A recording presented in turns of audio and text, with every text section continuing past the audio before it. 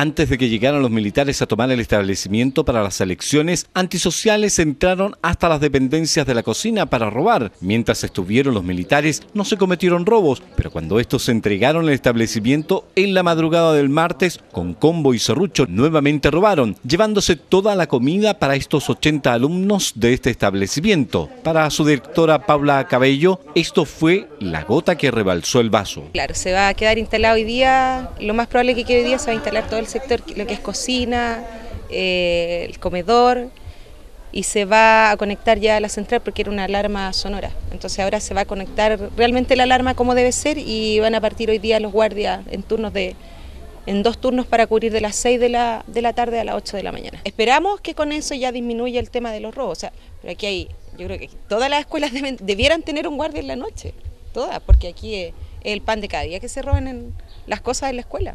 Para la directora fue tardía la respuesta por parte de la autoridad. Es verdad que se repuso la puerta, el alimento de los niños, pero ocurrió más de seis veces y a eso se le debería haber colocado cota mucho antes. Para Carolina Hidalgo, jefa técnica, más que rabia, sienten una gran impotencia, ya que se trabaja con niños muy vulnerables. Habían vuelto a robar nuevamente, ahora ya se robaron el balón de gas y lo que les quedó de alimento, entonces hoy día no pudimos entregar el desayuno como es normalmente acá en la escuela. Ya es bastante, Yo la primera vez dije que era como triste, desalentador, eh, pero también es un poco consecuente con lo que hoy día ustedes ven de esta escuela. Esta escuela está muy abandonada.